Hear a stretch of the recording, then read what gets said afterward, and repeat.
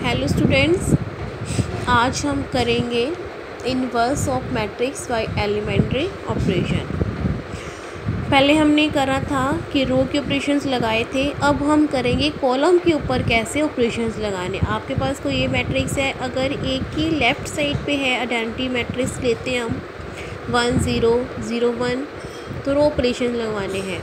अगर ए की right side पे लेते हैं वन ज़ीरो ज़ीरो वन। तो इस पर हम क्या लगाएँगे? कॉलम ऑपरेशंस लगाएँगे। सारे के सारे क्या लगेंगे? Column operation.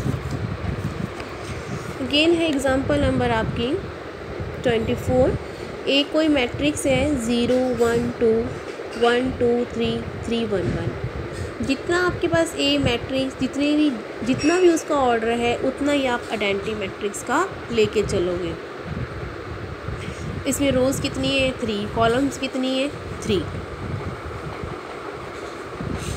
तो अपन आइडेंटिटी मैट्रिक्स की क्या लेके चलेंगे? थ्री रोज़ थ्री कॉलम्स का।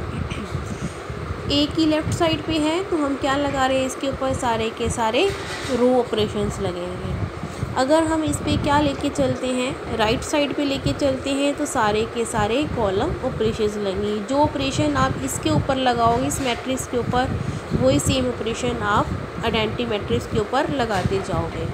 लगाने के बाद आपकी जो लेफ़्ट साइड है, वो आपकी आइडेंटी में कन्वर्ट हो जाएगी और इधर आपके पास एक नया मैट्रिक्स तैयार हो जाएगा। तो इसी बेस पे आपने क्वेश्चंस करने हैं।